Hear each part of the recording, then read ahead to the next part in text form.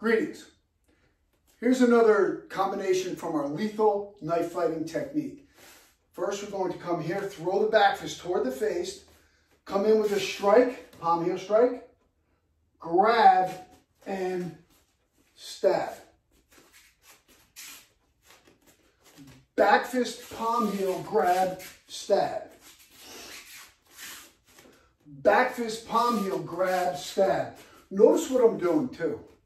How I'm constantly moving the whole time through this technique, right? So hands are up.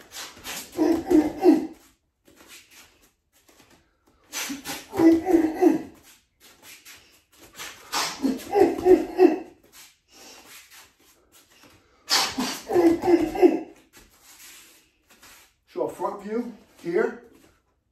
I'll do the other hand. Show them ambidextrous. Here, palm heel strike, grab one, two, two or three stabs for your practice. Again here, throw the back fist out.